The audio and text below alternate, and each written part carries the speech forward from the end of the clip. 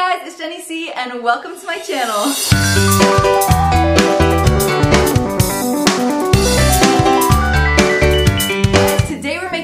Super delicious, super nutritious, and super easy to make. This is my favorite thing to make lately, and it's of course my favorite thing to eat lately too. This is my high protein vegan pancake recipe. This recipe is high in protein, high in fiber, and has some omega-3s in it thrown in there too. So it's really good for you, and it tastes amazing. And it literally takes five minutes to make crazy. Let's get into it because we only got five minutes to do this. Come on. Okay, you guys, let's get into making my five minute high protein vegan pancakes. All you're gonna need are these five ingredients. Literally, that is it. Here we go. First ingredient is going to be your pancake mix. This is Birch Bender's pancake and waffle mix. You can use any kind of pancake mix you want, but this one is specifically vegan and high protein, so I recommend using something like this. So we're gonna be trying this one out today. Next up, we're going to need some cheese chia seeds. These chia seeds I pick up at my local Costco, but chia seeds are available pretty much anywhere these days. Third ingredient we're going to need is some vegan butter. I love this vegan butter. Earth Balance soy-free vegan butter. One of my favorites for sure. But if you don't want to use vegan butter, you can always opt for something less processed like coconut oil or avocado oil. Fourth ingredient you're going to need is water. And the fifth ingredient is going to be any topping you want to add to your pancake pancakes. You can do anything from maple syrup to peanut butter, whatever you want. I'm gonna show you my favorite toppings for this recipe at the very end, so stay tuned for that. But let's get into making the pancakes right now. Here we go.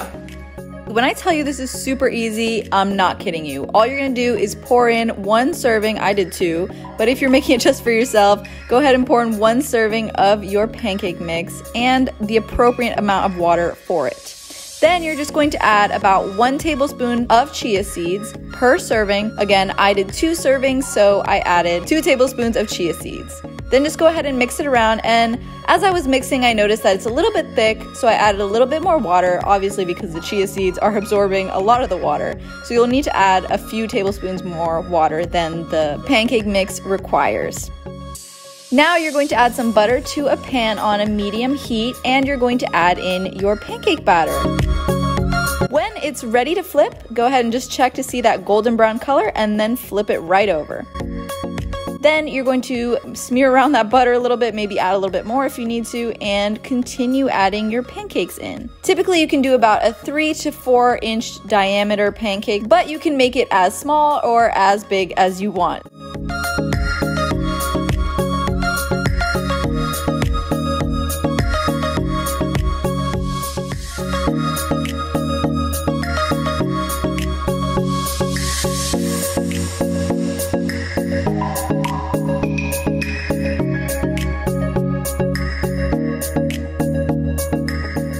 And now we're ready for toppings. Yay! So I made two small pancakes and one of them came out extra big, so I just kept the two small ones for me to eat. So just eat as many as you want, of course. Now you're gonna add your toppings. Like I said, you can do whatever you want, but my favorite combination is banana, honey, and almond butter. It is so good, I can't even begin to explain. Blueberries, raspberries, strawberries, banana, a dash of cinnamon, peanut butter, almond butter, honey, agave, maple syrup, literally whatever you can think of, you can add to your pancakes.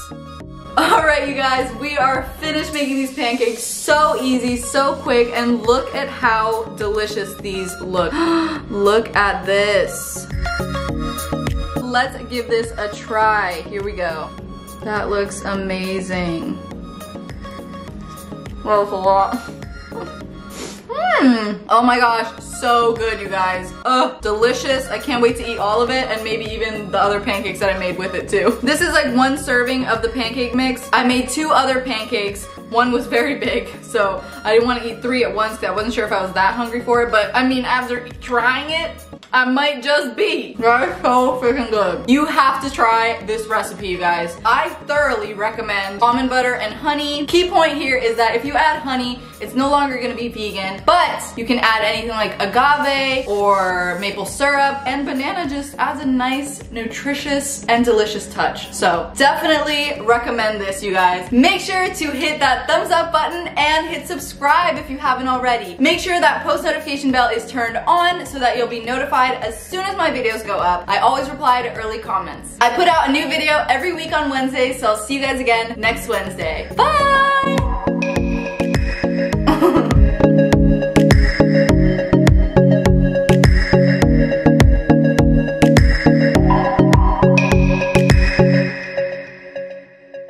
Oh my gosh, can I please take off my lipstick now? Removing the lipstick to eat this. Otherwise I'm gonna be eating cheap lipstick and that is not, that is not what I wanna do today.